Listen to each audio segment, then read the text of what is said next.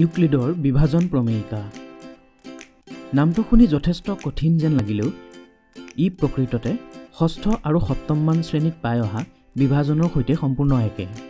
বুজিবলৈ সহজ হ'বৰ বাবে এটা উদাহৰণ লোৱা যাওক। ধৰা হ'ল তোমাৰ হাতত বিছটা বল আছে আৰু এই বলকেইটাক এটা বাকচত সুমুৱাই দিবলৈ কোৱা হ'ল। কিন্তু এটা চৰ্ত হ'ল যে বাকচটোত কেৱল মাত্ৰ বাৰটাহে বল সুমুৱাব পাৰি। গতিকে বাৰটা বল সুমুৱাই দিয়াৰ পাছত বাকী থাকিব আঠটা বল। একেই ঘটনাটো যদি হৰণৰ সহায়ত প্ৰকাশ কৰোঁ তেন্তে হ'ব বিছ হৰণ বাৰ য'ত বিছ ভাজ্য বাৰ ভাজক ভাগফল হ'ব এক আৰু বাকী থাকিব আঠ। অৰ্থাৎ আঠ ভাগ শেষ। বা বিছ সমান বাৰ পূৰণ এক যোগ আঠ। অৰ্থাৎ ভাজ্য সমান ভাজক পূৰণ ভাগফল যোগ ভাগ শেষ। ইয়াক যদি আখৰ বা চলকেৰে প্ৰকাশ কৰোঁ তেতিয়া আমি লিখিব পাৰিম এ সমান বি পূৰণ কিউ যোগ আৰ। যোগাত্মক অখণ্ড সংখ্যা এ আৰু বিৰ প্ৰতিযোৰৰ ক্ষেত্ৰতে আমি অদ্বিতীয় অখণ্ড সংখ্যা কিউ আৰু আৰ বিচাৰি পাম য'ত আৰ শূন্যতকৈ ডাঙৰ বা শূন্যৰ সৈতে সমান আৰু বিতকৈ সৰু। মন কৰিবলগীয়া কথা যে কিউ বা আৰ শূন্যও হ'ব পাৰে। এই প্ৰমাণিত বিবৃতিটোৱেই হৈছে ইউক্লিডৰ বিভাজন প্ৰমেয়িকা।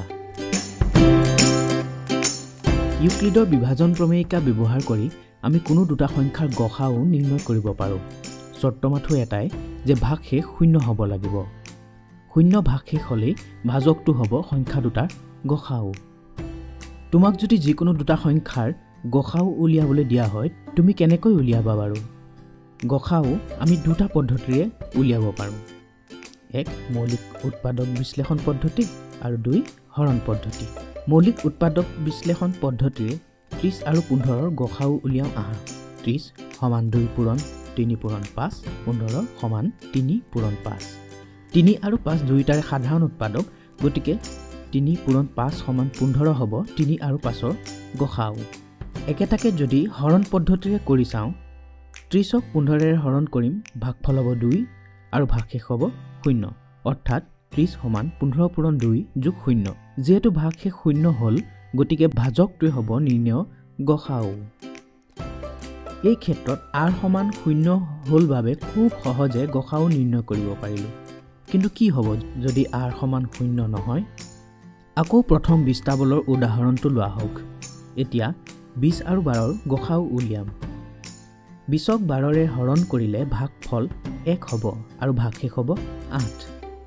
এতিয়া বাৰক ভাজ্য আৰু আঠক ভাজক হিচাপে লৈ পুনৰ হৰণ কৰা হ'ল। ভাগশেষ ৰ'ল চাৰি। আকৌ আঠক ভাজ্য আৰু চাৰিক ভাজক হিচাপে লৈ পুনৰ হৰণ কৰা হ'ল। এইবাৰ ভাগশেষ হ'ল শূন্য অৰ্থাৎ আৰ সমান শূন্য চৰ্তটো পূৰ্ণ কৰিলে। গতিকে ভাজক চাৰি হ'ব বিছ আৰু বাৰৰ গসাও গণিতক বাস্তৱ জীৱনত প্ৰয়োগ কৰাৰ আনন্দই বেলেগ। এটা বাস্তৱ উদাহৰণ লওঁ। ধৰা হ'ল বিছ মিটাৰ দৈৰ্ঘ্যৰ আৰু বাৰ মিটাৰ প্ৰস্থৰ এখন বেৰত বৰ্গাকৃতিৰ তালি লগাব লাগে। সৰ্বোচ্চ কিমান বাহু বিশিষ্ট বৰ্গাকৃতিৰ তালিৰে বেৰখন সম্পূৰ্ণকৈ ঢাকিব পৰা হ'ব?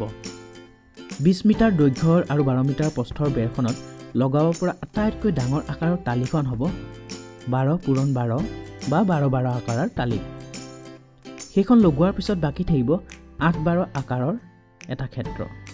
গাণিতিকভাৱে বিছ সমান বাৰ পূৰণ এক যোগ আঠ।